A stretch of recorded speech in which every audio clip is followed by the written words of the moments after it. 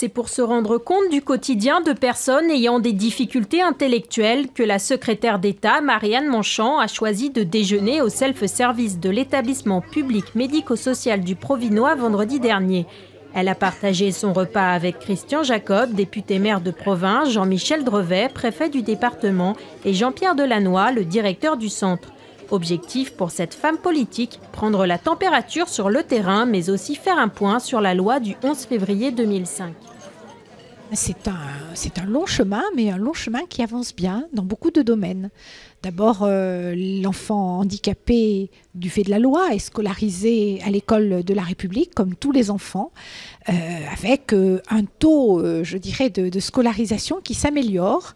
Alors je sais bien qu'il reste encore des choses à faire, qu'il faut encore trouver des auxiliaires de vie scolaire pour certains enfants, qu'il faut assurer leur formation à ces auxiliaires de vie scolaire, mais n'empêche qu'aujourd'hui, de très nombreux enfants sont accueillis avec leurs petits camarades ordinaires, et c'est très important parce que c'est là à l'école qu'ils apprennent la citoyenneté et qu'ils apprennent à ne pas s'étonner de la différence qu'apporte le handicap des efforts très importants ont été accomplis aussi dans le domaine de, l'entreprise.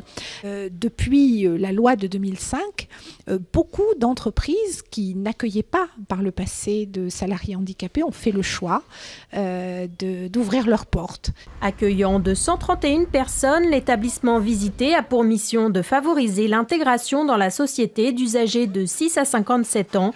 Pour cela, différentes structures ont été mises en place.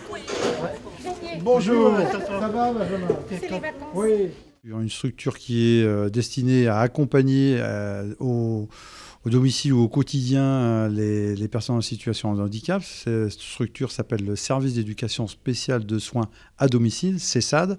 Ensuite, il y a la deuxième structure qui est l'Institut médico-éducatif, donc IME, de 6 ans à 20 ans, Ensuite, la, dernière mission touche un troisième service, qui est l'établissement et service d'aide par le travail, et donc euh, qui euh, accueille 105 euh, adultes dans des micro-entreprises ou dans des entreprises du style peinture, espace vert, restauration de collectivité, entretien des locaux, hygiène des locaux, et puis un petit atelier guimauve, découpe et bien d'autres choses. Autant de services qu'a pu découvrir la secrétaire d'État lors de son déplacement.